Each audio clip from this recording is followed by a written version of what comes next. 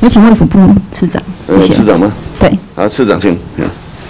呃，就是刚才今天是提到那个精神相关的问题啊，就是说在疫情的期间，那我们周一的卫环委员会其实有安排了自杀防治中心。那那时候卫福部有提到说，除了这个前期的精神相关心理的咨询、他协助之外，长期或后段应该也要来做一个这个资讯的传达以及可进性。然后说未未来在卫福部的专区也会设置这样子的内容，让大家能够在心理卫生方面能够更健康。那我觉得这是想要在这边肯定一下卫福部有想到这个后端的协助的部分。那另外就是针对今天也想针对这个母乳的问题和乱象来跟市长来来跟。市长这边请教一下，就是我们上周其实有看到一个新闻，就是有一些我网红或 YouTuber 他在谈到这个母乳不应该呃母乳的在系列这个母乳的状况。那我们撇开这个母乳不应该被污名化的问题之外，我们也想要谈的是说，呃，这个网红他是从网络的网购平台上就可以很轻易的。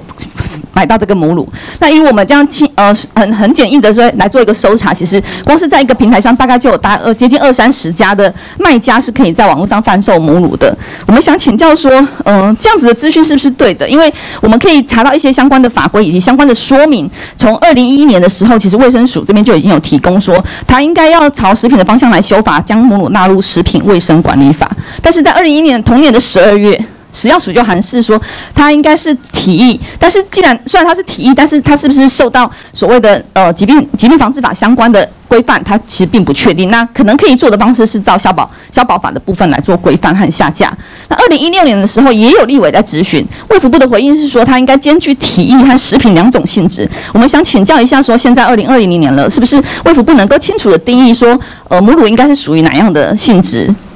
嗯，谢谢委员的垂询了。这个问题，我是请我们食药署署长先做回答？好。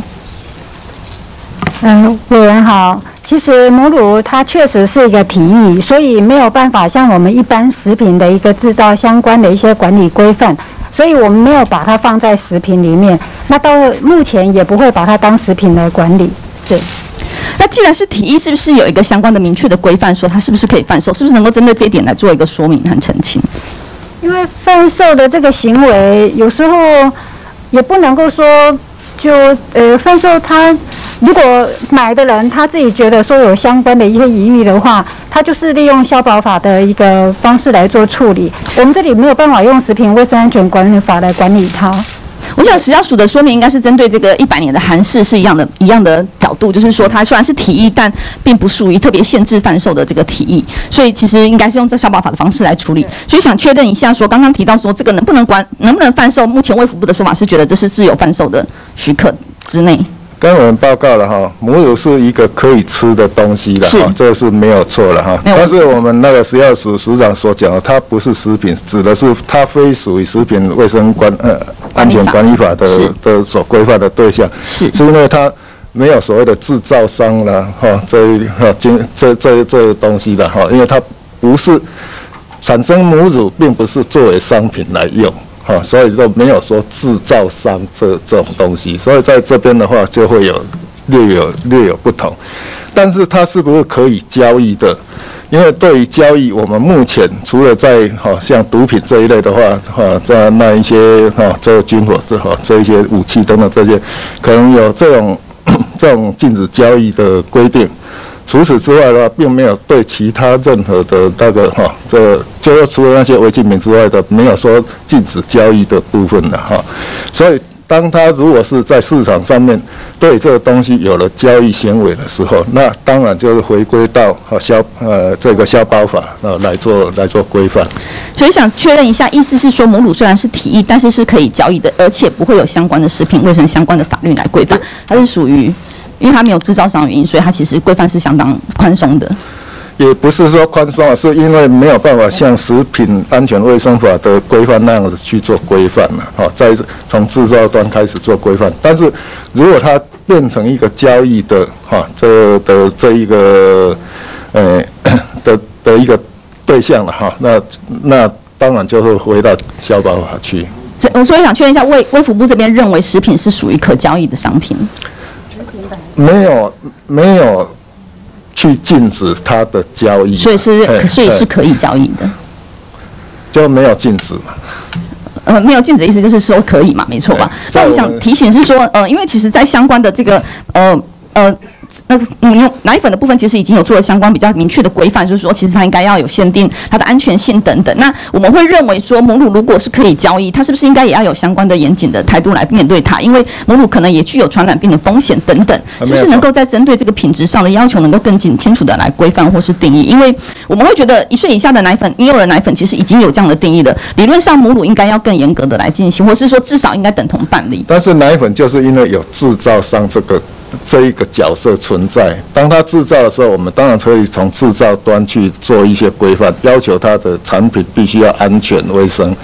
但是在母乳这个部分，所以食品的安全有规范，但是体液的贩售安全不需要规范。不是不需要规范的，没有办法规范，最后还是有消保法这边哈，你要卖的人，因为消保法除了这一个，它规范的是企业经营者嘛，所以在这个部分的话，也就是说，不管它是制造呃。贩卖等等这些了，他都要负一定的法律的责任。但是在食品安全卫生法这边的话，对食品安全是从源头来源开始做控管，所以所以提议的贩售不需要从来源来做控管，而是贩售之后是事实上没有办法去做控管，因为一个母亲她的她的乳汁分泌出来之后的话，我们不可能要求她每一件都要去送去做检验。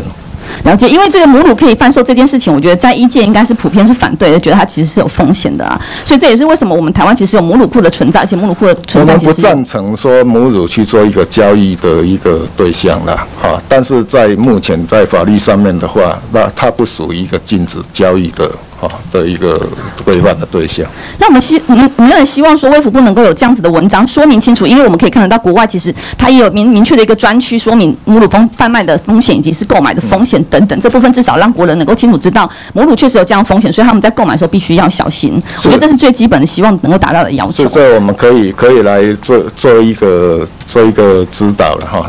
了解。那我们就接着提到说台湾母乳库的现状啊，就是说现状其实因为因为很多。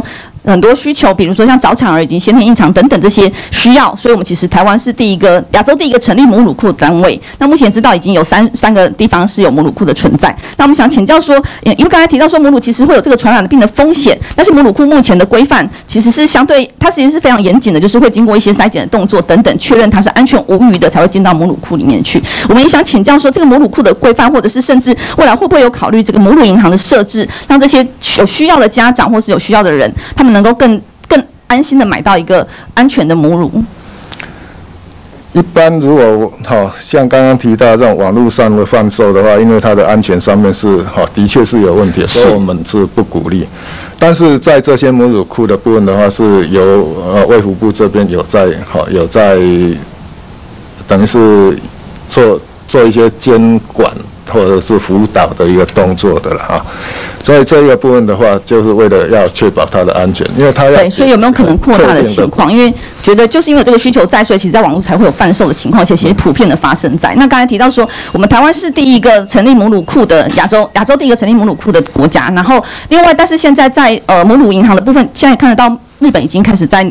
预计要在二零二三年启动。那在台湾的部分，其实，在二零零四年的公听会上就已经有提出这样的需求以及这样子的问题。那当时的回应是说，呃，预计能够尽快的来研拟，但是后来我们都没有查到相关的研拟资料。所以想请教说，经过这么多年之后，我们是不是有计划来成立扩大母乳银行，或者是呃扩大母乳库，或者是说增加母乳银行的设置？这个我们可以来考虑看看，因为目前这的这个我们的年轻人哈，那在生了小孩之后哈，那哺育母乳的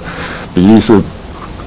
高的了哈，跟数十年前那时候已经不太一样，好，所以这个可以再重启这一个呃演绎。是因为现在目前供需上看起来就是有会有它供供给或是需求，其实都有它的存在面，所以才网络上才有大量的翻售的情况出现。那所以也要请请刚才提到的是说，请卫福部这边能够清楚的说明母乳是属于提议，然后贩售的部分其实不受任何的法规限制，只有消保法可以在发生问题之后来处理。那这部分以及母乳的风险等等都应该清楚的说明。因为刚刚提到说，呃，他认为是提议是在二零一一年的时候，但是我们却在二零一六年的时候又回复是提议和食品。那我觉得这个其实卫福部传传递的资讯其实一直都不是很清楚或明确定义。我们能不能借这个机会？把它清楚的定义下来，让大家都清楚。好，呃谢谢。好，好，好，我们谢谢王委员，谢谢次长。